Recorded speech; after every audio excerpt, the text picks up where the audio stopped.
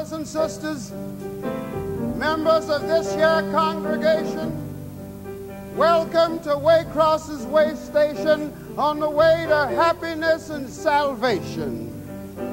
We are gathered here today to celebrate our very first meeting and to lay to rest once and for all the bones of old Colonel Cotchipee. He was formerly known as Old Captain Cotchipee. I hope y'all don't mind. I took the liberty of raising his rank a notch posthumously, of course, being as he gave his life in the service of this year service. What I'm trying to say is he did us a service, dying.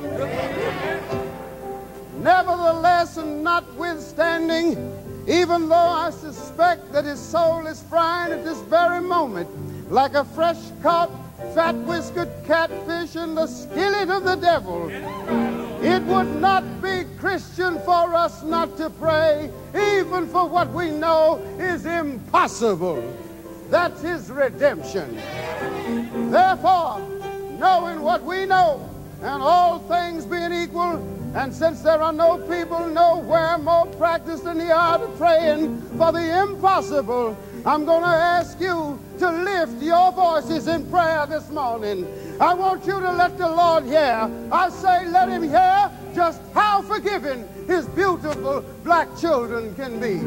Sister Hopkins. Walk him